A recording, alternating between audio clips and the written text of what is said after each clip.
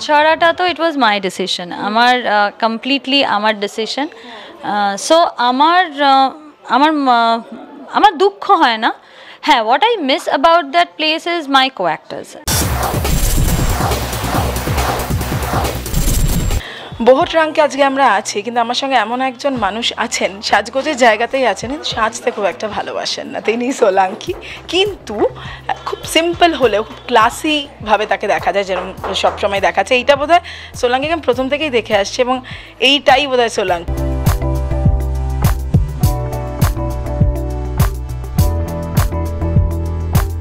কিনা মানে হয় না সময়ের সঙ্গে সঙ্গে স্টাইল স্টেটমেন্ট চেঞ্জ হয়। আমি এরকমই তোমায় দেখছি। I don't believe in fashion trends I believe in style so fashion trends তো পাল্টাতেই থাকবে বাট স্টাইল চেঞ্জ হয় না দ্যাটস ক্লাসিক সো আমার মনে হয় প্রত্যেকটা মানুষের নিজস্ব একটা স্টাইল থাকে, সেটা তার পার্সোনালিটিকে রিফ্লেক্ট করে। সো আমার পার্সোনালিটি যেরম এবং শুধু এরম নয় যে একটা মানুষের একটাই personality I believe I have different sides so I dress up accordingly আমার যেদিন যে রোলটা প্লে করতে ইচ্ছা করে I play I dress up that way আজকে যেমন একদম বাচ্চা মেয়ে লাগছে কিন্তু আমি গরমের জন্য। এখন এত গরম তার মধ্যে এই জামাটা আমার খুব প্রিয় একটা জামা। সো আই থট মেবি আজকে this is the way this is the weather and the time and the place to wear this and I wore it কিন্তু এই যে আমি মাঝে মাঝেই দেখি স্টাইল চেঞ্জ করে মানে হেয়ার কাট হোক যেটা অনেক আগে আমি দেখতাম যে নায়ক বা নায়িকাদের একটাই স্টাইল থাকতো তারা সেটাই কোথাও রিস্ক নিতেন না। চুল কেটে ফেলব দর্শকরা কীভাবে নেবেন? এখন কিন্তু এটা অনেকটা চেঞ্জ হয়েছে। এবং আমি সোলাঙ্কিকে সেটা দেখি যে যে ছবি হোক বা যাই হোক আমি নিজের মতো স্টাইলটা হ্যাঁ হ্যাঁ মানে আমার একটা করে কাজ শেষ হয় আমার ফ্যান্সরা এটা একদিন লিখে পাঠিয়েছিল আমাকে। আমার মনে হয়েছিল যে এর থেকে সত্যি কথা কেউ কোনোদিনও বলেনি। বলেছে যে আমার একটা করে কাজ শেষ হয় আর আমি চুলটা কেটে ফেলি। যখন বোঝা যায় যে একটা কাজ শেষ হয়েছে আমার চুল দেখে। অ্যাকচুয়ালি সেটা না, আমার পার্সোনালি ছোট চুল মেনটেন করতে সুবিধা হয়, সেই জন্যেই রাখা। আর যা গরম পড়ছে কলকাতায় ইট ইজ রিয়েলি ডিফিকাল্ট বড় চুল যত্ন করে রাখা আর কি। সো আর মাঝে মাঝে একটু চেঞ্জ করতে ভালো লাগে। একদম, এই যে ফ্যান্সদের কথা যখন বললে, সেখান থেকেই বলি খুশি একদিকে শহরের উষ্ণতম দিনে, কিন্তু গাছ ছড়া ছাড়ার জন্য তারা খুব দুঃখে এবং অনেকে মানে দেখা ছেড়েও দিয়েছেন। সোলাঙ্কির কতটা দুঃখ হয়? কারণ একটা কাজ যেটা হওয়ার কথা ছিল সেটা হলো না। এরকম একটা প্রজেক্ট ছড়াটা তো ইট ওয়াজ মাই ডিসিশন আমার কমপ্লিটলি আমার ডিসিশন সো আমার আমার আমার দুঃখ হয় না।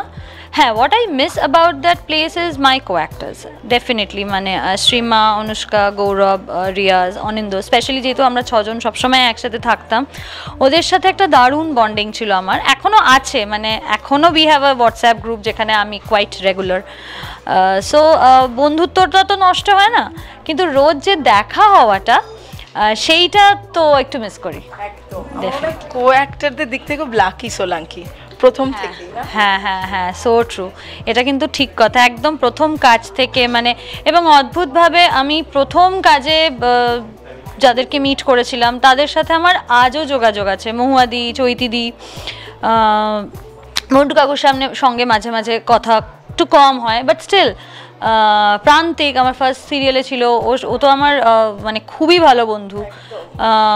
তারপর তোমার ইচ্ছে নদীতে ধরো রাজন্যাদি সুমনদা, নীলদা মানে এভরিবডি সামহাও আমার জানি না এটা কি করে হয়েছে but touchwood I have always had very good co actors এবং তাদের সাথে সম্পর্কটা খুব ব্যক্তিগতই হয়ে দাঁড়িয়েছে। শেষ করব বেশি সময় নেব না, কিন্তু ফার্স্ট নিজের টাকায় কেনা কোন জিনিস? নিজের জন্য ছিল, মনে আছে সোলাঙ্কির?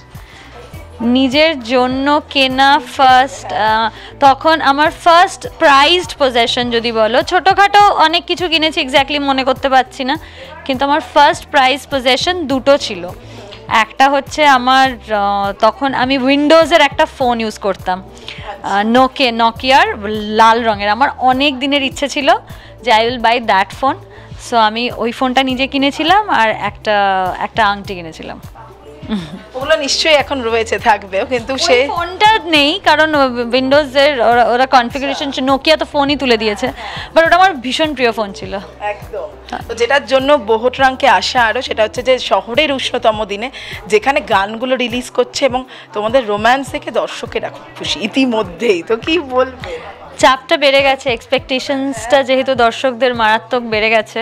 আমি আগের দিনই বলছিলাম বিক্রমকে যে আমার অনেক দিন পরে একদম রেজাল্ট বেরোনোর টেনশন হচ্ছে। মানে আমি এটা ফিল করতে পারছি আর কি যে, আর এই ছবিটাতে আমি এত ইনভলভড মানে ছবি শুধু হয়ে গেছে, তারপরে আর কিছুর সাথে ইনভলভ নয়, তা নয়। মানে I am involved in everything so খুব মনে হচ্ছে যে আমার পরীক্ষার রেজাল্ট বেরোবে তিরিশ তারিখ। বাট আমি খুবই আশাবাদী এবং খুবই হোপফুল কারণ দর্শকদের অ্যাকচুয়ালি ভালো লেগেছে তারা পার্সোনালি জানিয়েছে।